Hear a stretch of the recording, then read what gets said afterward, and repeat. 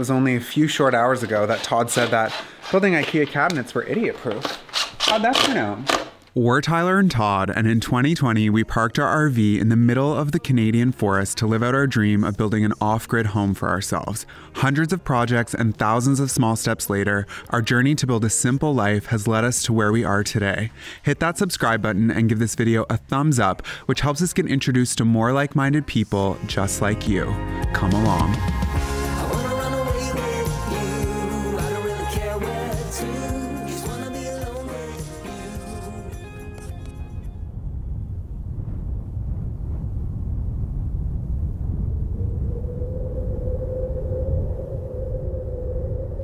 Good morning. We got up bright and early today for a very exciting project that's happening on the Geodesic Dome. It's finally kitchen day. We're really excited for this because we've been using our folding work table for a while and it's just not cutting it. Like Yeah. it's not the same as having a proper kitchen, so I'm really excited for this. There's obviously only so much you can do on a folding table, so it's gonna be good. Plus it's gonna be nice to be able to like have a space to bring more groceries and have all our spices so we can get back to making our own recipes because I miss that. Yeah, like just I kind miss of it too. whipping up some good meals. By the way, if you're wondering what that big massive box is, it's our fridge, which is super exciting. It's we huge, look at it.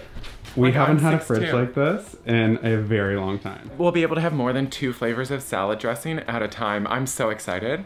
We're Just moving think of the options. We're moving up here in the world. Okay, I am gonna set you right here, and we are gonna get started on moving all of that stuff over to right there.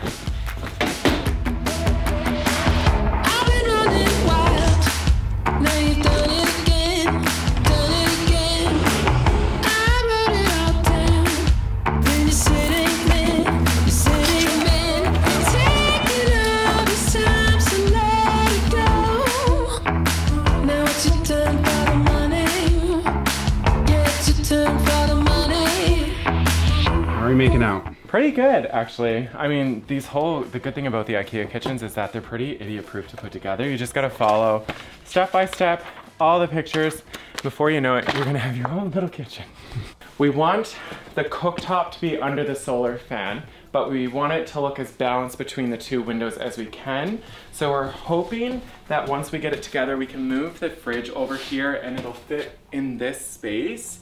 And if not, then we're gonna have to put the fridge over here, but add extra banks to fill in this gap, which we really don't wanna do because it's gonna add to the overall cost of the kitchen. Yeah, and I just don't think it's necessary because obviously when you come in the front door, we want it to be super open and mm-hmm. hopefully later this week when we can move the fireplace and center it on those two windows, it'll just make the interior feel very symmetrical, which in a circular space is way more important than we realized. And it's way harder to do than we realized too, because Yeah. you don't have corners to start off of. It's very challenging. Yeah, it's um it's definitely different than traditional building, But, but it's been fun. Oh yeah, and like, hello, like it's totally worth it. So, what we're gonna do now is continue working on building these. We're gonna do all of the interior, all the guts of it, basically. So, You ready?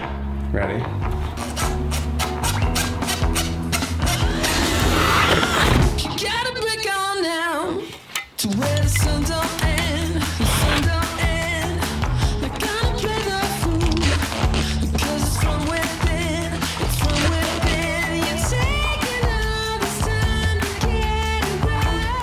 So, as I'm sure you'll remember, it was only a few short hours ago that Todd said that building IKEA cabinets were idiot proof. Pretty idiot proof.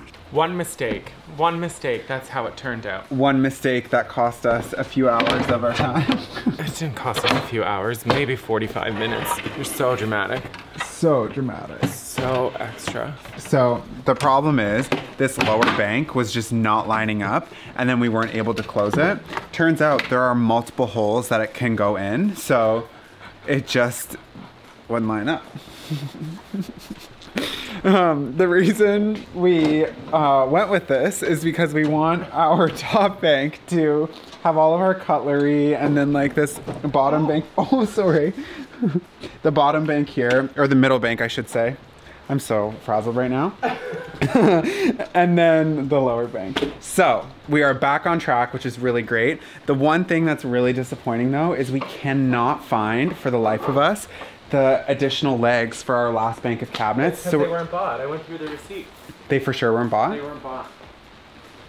We Wow. tried so, so hard to be ready for this project. So hard. We said everyone's gonna be so proud of us. They're gonna be like, wow, new year, new boys. But hmm. nope. No. So, I mean, on the flip side of it, if we have to run into the city and go to IKEA, and we get a little meal along the way, it's not the worst thing in the world At all. at all. Okay. We're gonna continue on.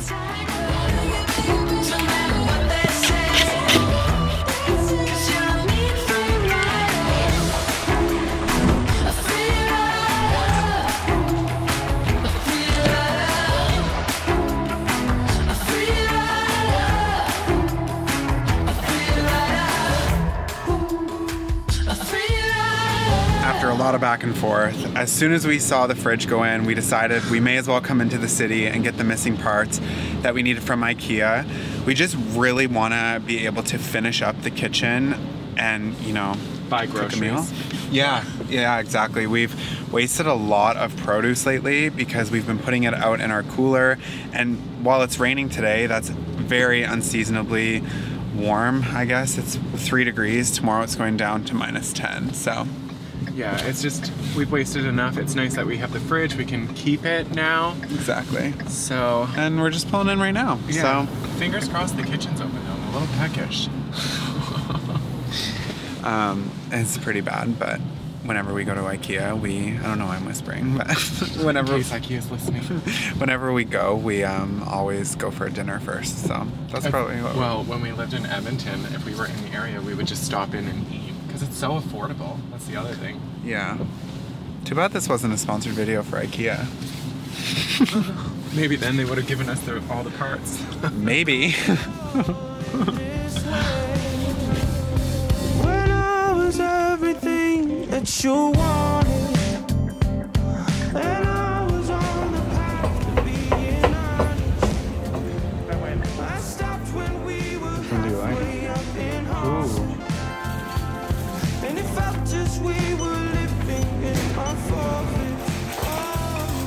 Dinner time? Dinner time.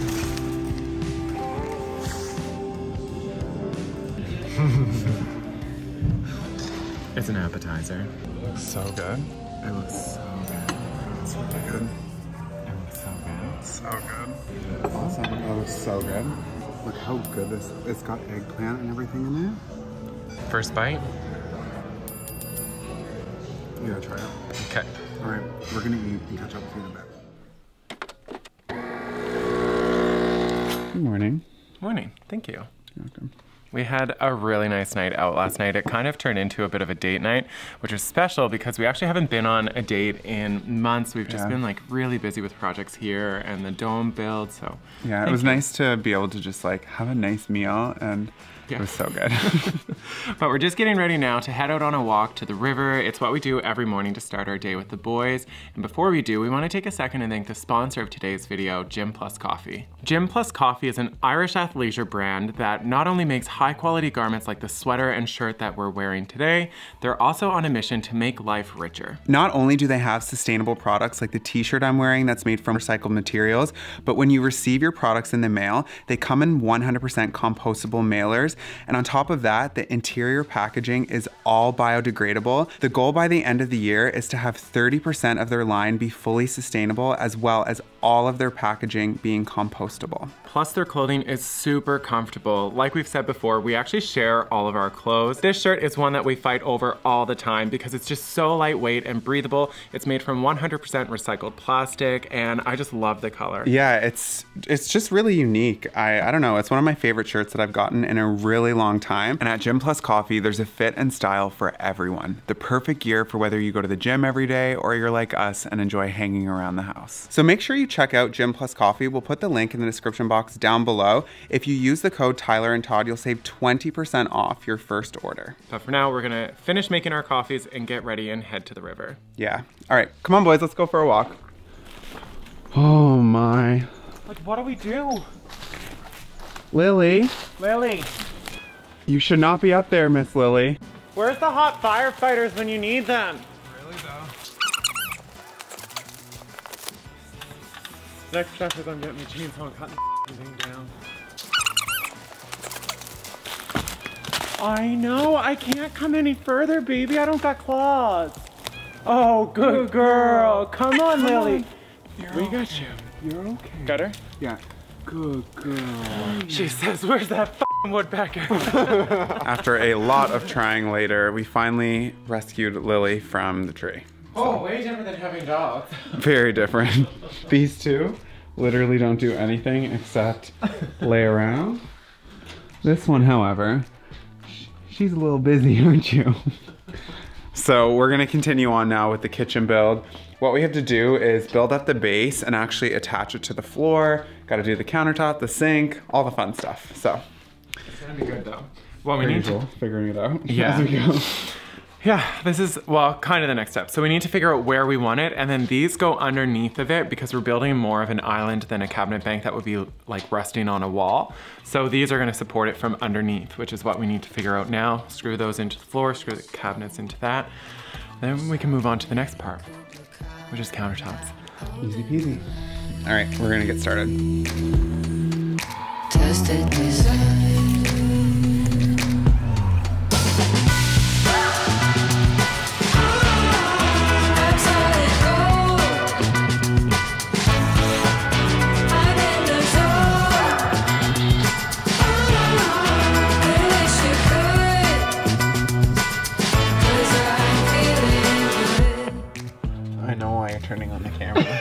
I just wanna show people how you're measuring.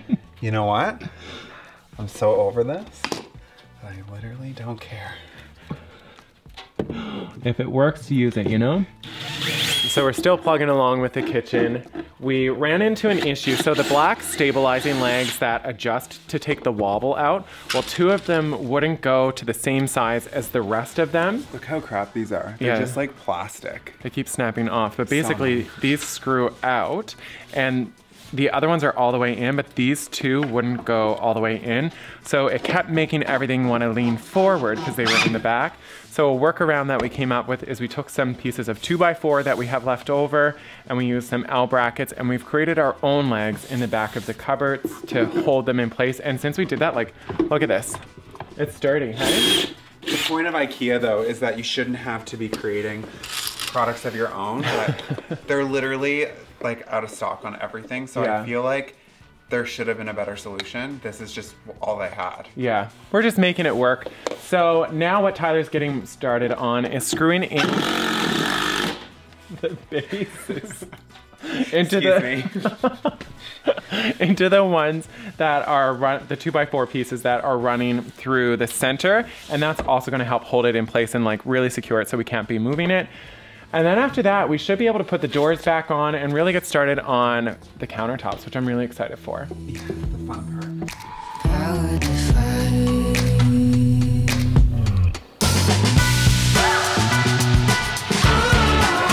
That's how it goes. Wow, you did so well. Look at that. did you breathe the whole time? Barely. Time to cut the sink.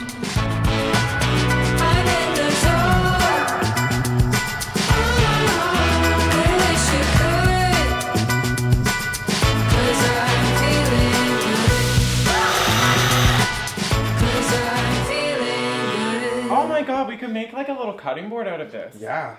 It's cutting board material. Yeah. Very nervous.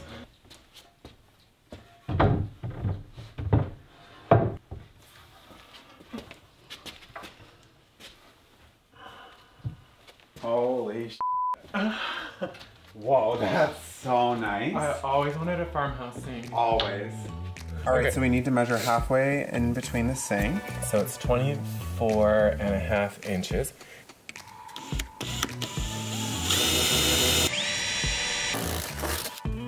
Wow. That got my ears ringing. Super excited. All the construction on the kitchen is done. That oh, means how good this place looks. Are you kidding? it looks really good. We did this. Also, speaking of insulation, we never really addressed this. We put little pieces of Reflectix in our windows at night to keep the cold air out and the warm air in. It does really well. It's just like, I can show you what it looks like. Like, look at the ice on that. Yeah. That's crazy. Let's get to staging. Yeah, we're really, really excited to pull all of the decor pieces that we have for this space, and we will see you in two seconds. All right, it's been a couple of hours and we just finished staging, and I have to say that it blows my expectations. Good job, put her there. We really crushed this. We did. So over here we've got our dry storage for food. So we've got like our beans and our nutritional yeast and rice. We've got this is our snack bin. This is our like bread and wraps and lunch bin, and then this is more of like meals and more intense. Are we going meal- bin by bin? We're going bin by bin. Over here, we've got an area for our fur babies to eat. So underneath, we've got the dish for Lily, and then on top is Charlie and Eddie because the three of them eat their breakfast and supper together, which is actually really cute. but they, really cute. they've done it since day like two, so we just love it. Then we've got our garbage cans, which are hiding our battery bank. So while we're still waiting to connect our full solar system into the dome, we're running off battery banks, which actually runs the fridge, which I'm still so in disbelief about the fact that we So have a fridge. Like this is this is so nice. Then moving into the kitchen, I can't get over the amount of storage that we have here. We've got pots and pans and all that stuff in here. This is our cutlery, our spices. This is like miscellaneous kitchen tools. And then all our dishes fit nicely into here. In here, we've got all our cleaning supplies and we have this motion activated light that's battery operated. So when we have really sunny days, we can charge the batteries on our solar system and then it just helps you see what's going on underneath or what you're looking for. And then this is all our Tupperware and stuff that we don't use every single day. One of the things I love about the kitchen is this coffee and wet bar. Lily loves it as well. so Is that your new spot? We've got our coffee maker here, and then we've got some wine glasses and coffee mugs. Then we've got our alcohol and liqueurs here. And my absolute favorite part is this island, which I so nice. so nice. And like it's movable, so if we were doing something like having a cartwheel competition, we can move it out of the way. But it's also really nice because we can lift these up and they just hang and store underneath. And then most importantly, um, Lily's, I don't know how we're going to train her out of this, but the farmhouse sink, that is just, it's so nice. It's so nice. We've still got some work to do on figuring out the final plumbing. Everything's roughed in, but it's not fully connected, and it's Yeah. probably gonna have to wait till spring because we are in the middle of the winter. But it works for now. We can put a little dish pan in it and have like an area. I don't know. It's just so, like, mind boggling better than how we lived last winter. Like, I don't know. Doing dishes in a dish pan for a little while while we get the plumbing set up is really not the biggest deal. Yeah, So, yeah. it's Anything's easier after bathing in a Rubbermaid tote. yeah. I'm using that clip again. I don't care. Do you feel good? Um, I feel cheap. So anyway, we're gonna get cooking a meal in this space, and I'm really excited to break it in. oh, plus obviously our kitchen table plus. office Workspace. space. I just, I love it. It's really starting to feel like home, and it's been over two years since we've had like a permanent like place to call home to really settle in that we're not moving every couple days or just like I don't know. It was just always chaotic in the RV. I felt. Where now I'm really feeling like it might be back to those circles, but I'm feeling calm. I know Lily's not. she says this damn oh. tail's been chasing me all day. I love you. I love you too. Todd's trying to have a nice moment, and I'm here zooming in on Lily. All right, we're gonna cook up some dinner and yeah, get this going. While it would have been nice to break in our new kitchen with a nice home cooked meal, it is fridge leftover pizzas in the air fryer for dinner tonight. which we're super excited for because It's gonna be good. It's been a long couple of days, and Yeah. cooking an ambitious meal was definitely not in our cards tonight. Next Sunday for a nice nice video in the kitchen, I guess. But we have a really exciting day happening tomorrow. It's a project we've been waiting for for like over a year. Yeah, it's So- been your like your brainchild for so long, and I'm Yeah. excited for you. I'm excited too. So, we're going to have this pizza and we will see you in the morning. We got a bunch of snow last night, but that is not going to stop us from tackling this project today. We've been waiting forever for this, and it's finally happening.